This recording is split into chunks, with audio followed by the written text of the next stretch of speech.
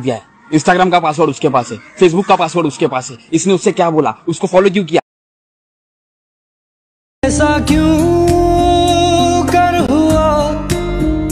जानू ना